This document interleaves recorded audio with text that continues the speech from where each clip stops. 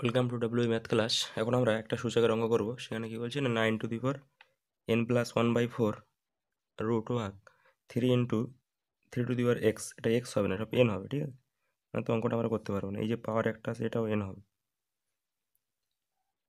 Three into কী আছে না root over three to the power minus n to the power one by এটাও n ঠিক আছে? সমান কে হলে কের মানটা আমাদের বার করতে হবে। Three into three to the power n আছে, ঠিক আছে?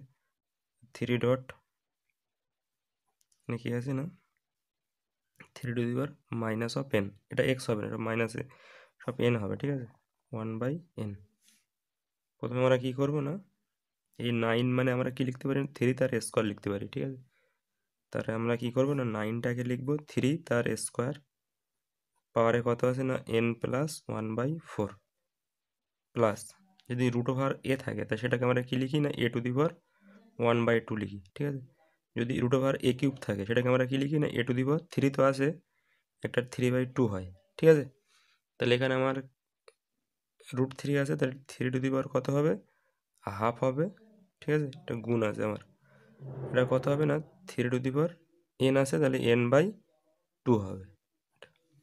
এটা কত হলো? থ্রি থাকল, ঠিক আছে? আর এখানে three to the power minus n ছিল, আর এই রুটটা উঠলে একটা হরে টু হবে। এটা হোল টু দি পাওয়ার কত আছে না? ওয়ান বাই এন ঠিক আছে?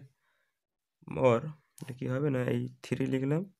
এই টুটা এখানে গুণ হবে, এখানেও গুণ হবে, ঠিক আছে? এখানে গুণ হলে কত হবে? টু এন প্লাস এই দুইয়ের সঙ্গে ওয়ান বাই ফোর গুণ করলে এই দুইটা একবার কাটবে দুই দোকানে চার, তাহলে এটা হবে একের দুই, ঠিক আছে? ইন্টু থ্রি টু দি পাওয়ারে পাওয়ারে যোগ হবে, এটা হচ্ছে ওয়ান বাই টু যোগ এন বাই টু গুণ আছে তাহলে পাওয়ারে যোগ হয়। এটা কত হবে? থ্রি টু দি পাওয়ার কত হবে না? One minus n by two. এর পাওয়ারে কত আছে না? ওয়ান বাই এন আছে। ঠিক আছে? তাহলে থ্রির পাওয়ারে প্রথমে কত আছে লিখব? Two n plus one by two এটা গুণ আছে, তাহলে পাওয়ারটা যোগ হয়ে যাবে। One by two plus n by two এবার এটা ভাগ আছে মানে থ্রির পাওয়ারে ওয়ান এটা বিয়োগ হবে, ঠিক আছে? ওয়ানটা উপরে গিয়ে মাইনাস ওয়ান হবে আর মাইনাস এন বাই টু এটা বিয়োগ হয়ে মাইনাস ওয়ান আছে প্লাস এন বাই টু হবে। তার পাওয়ারে ওয়ান বাই এন আছে, ঠিক আছে? তাহলে এখানে মাইনাস ওয়ান আর এই one by two one by two মিলে এক, এই পুরোটা এক, এখানে মাইনাস এক, ঠিক আছে? আউট হয়ে গেল। তাহলে থ্রি টু দি পাওয়ার কত হবে না?